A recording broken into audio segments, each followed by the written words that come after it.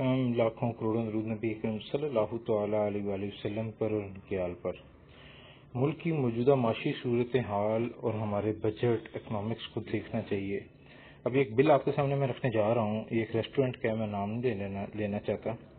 इस वक्त एक खाने का बिल, एक वक्त के खाने का बिल, जो सिर्फ़ आठ आदमियों ने खाना खाया है, उसका बिल ये आप देख सकते हैं टोटल बिल बना है तिरपन हज़ार दो रुपये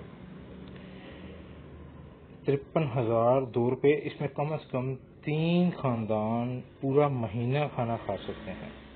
अब इन्होंने क्या खाया, ये मैं आपको दिखा देता हूँ। ये छः जुलाई का बिल है 2023 ठीक है, मिंट, मार्गटा, मिनरल वाटर, ठीक है, मटन बोटी, fresh fish, finger fish, mutton Shinwari, ठीक है, Turkish barbecue, fresh salad, plain naan, ठीक है।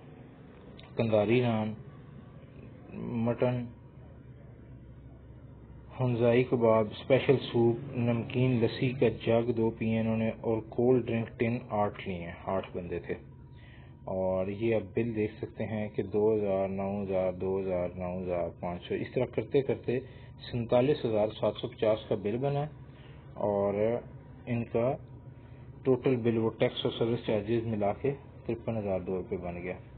तो हमें अपना और अपने मुल्क का ख्याल करना चाहिए और इसको, अपने बजट को मैनेज करें अल्लाह ताला ने आपको पैसे दिए ही हैं तो वो किसी गरीब की खिदमत के लिए इस्तेमाल कर दें, ना कि अपनी ज़ाती रूह की तस्कीन के लिए इस्तेमाल कर देना चाहिए। अल्लाह ताला आप सब का हामी नासिर हो। अल्लाह हाफिज़, पाकिस्तान